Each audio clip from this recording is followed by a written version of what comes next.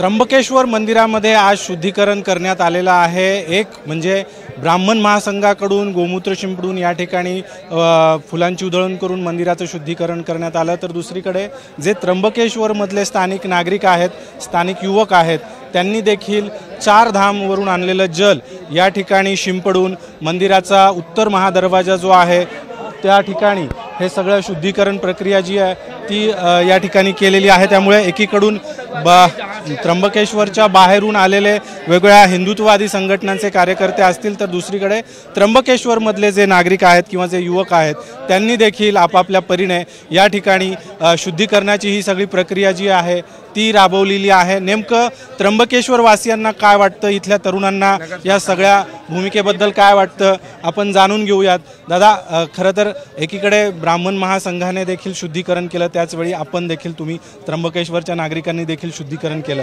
काय नेमकं असं वेगवेगळं शुद्धीकरण? आता हे सर्व हिंदूच आहे. ब्राह्मण महा हिंदू सभा नका म्हणू. हे सर्व हिंदूच आहे. आम्ही सर्व हिंदू म्हणूनच सकल हिंदू समाज म्हणूनच हे आंदोलन तीव्र आम्ही उभं केलेलं आहे. ह्या ठिकाणी जे पवित्र आत्ता जे कुशावर्तावरचं तीर्थ आणि जे गोमित्राने जे शिंपडलेलं आम्ही इथं या ठिकाणी शुद्धीकरण करण्यात आलेलं आहे.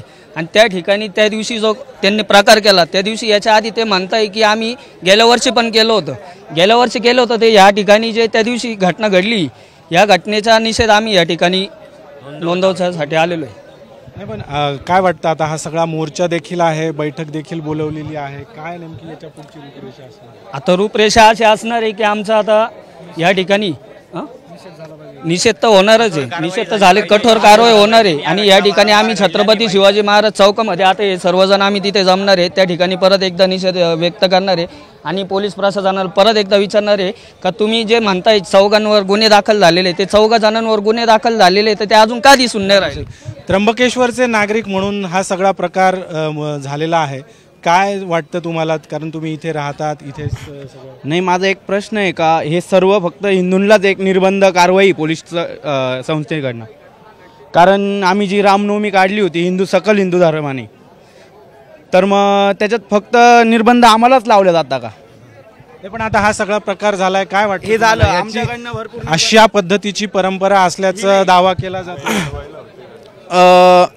जसं असं आता अशा ही परंपरा आहे धूप दाखवण्याची अशा पद्धतीचा दावा केला गेला. मंदिर विश्वस्तांकडून हा दावा फेटाळण्यात आलेला आहे. नेमकं हा सगळा प्रकार जो घडतोय काय वाटतंय त्र्यंबकेश्वर वासी म्हणून? त्र्यंबकेश्वर वासीय म्हणून हे वाटतंय की हे एक वेगळ्या वळणाचं का काम आहे की इथल्या सगळ्या नागरिकांना पहिले कधी असं आमचं पाहण्यात नाही आलेलं आहे. आमच्या इथे बरोबर हे काका आहे आमच्या पेक्षा मोठे आहे. त्यांना सुद्धा त्यांनी वाटतं आपल्याला आपल्या आयुष्य गेलंय. त्र्यंबकेश्वरमध्ये? एक महत्त्वाची गोष्ट ही आहे की प्रत्येक गोष्टीची नोंद त्र्यंबकेश्वर देवस्थान ट्रस्टमध्ये असते.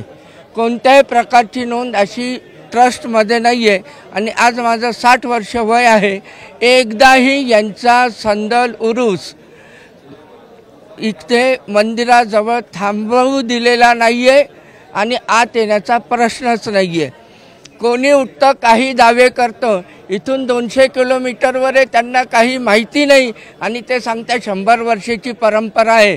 ते त्यांचे सगळे जे गोल टोप्या घातलेले आहेत ना फक्त मतं मागताना हिंदू म्हणून मागायचे.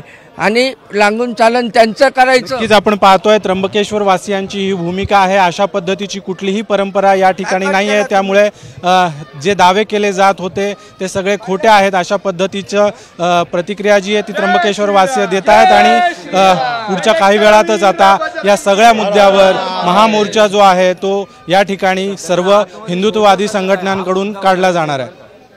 कॅमेरामॅन विकी कदमसह अभिजित सोनवणे साम टीव्ही नाशिक.